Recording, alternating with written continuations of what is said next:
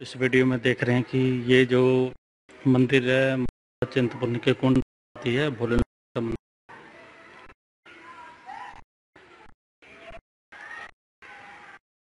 तो ये बजरंग बली हैं और ये नंदी जी हैं।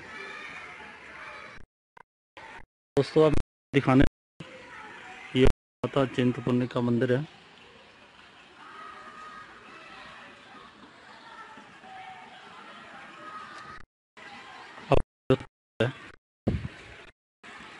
तो ये तो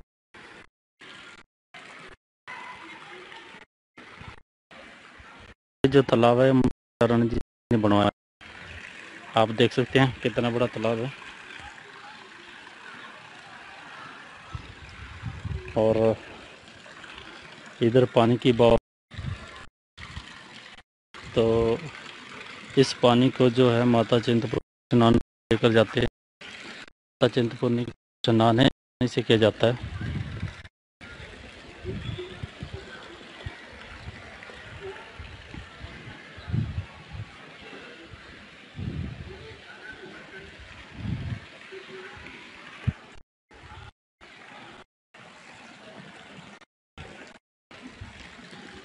बीच में भोलेनाथ का मंदिर है।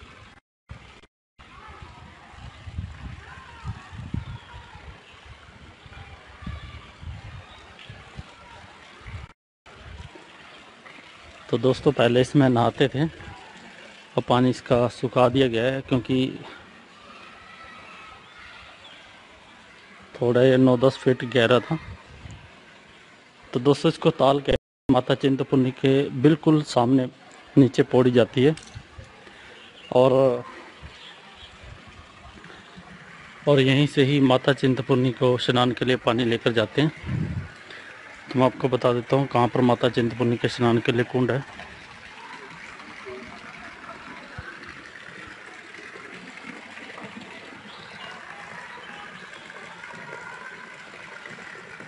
ये देख सकते हैं, ये जो कुंड है, ये जो आपको दिखाई दे रहा है। नमस्कार दोस्तों। दोस्तों, कैसे दोस्तों आज इस वीडियो में देखोगे आपकी जो माता का स्नान के लिए पानी लिया जाता है, वो पानी है ये। तो दोस्तों, ये है माता के स्नान का कुंड है। इसको मैं आज आपको लाइव दिखा रहा हूँ। प्लीज़ वीडियो को ज़रूर लाइक करें।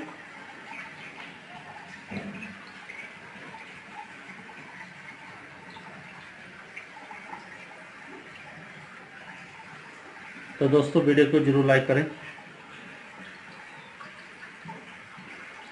कितना साफ़ पानी है। इस पानी से माता चिंतपूर्णी का स्नान किया जाता है।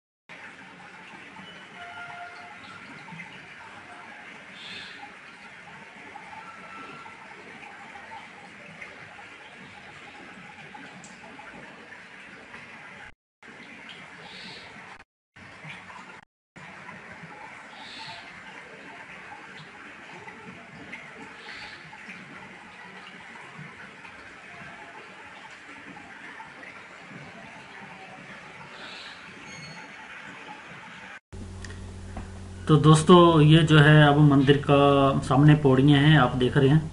ये मंदिर को पौड़ियाँ आ रही है। मंदिर के सामने पौड़ियाँ उतरती हैं। तो आप देख सकते हैं, ये मंदिर की पौड़ियाँ हैं।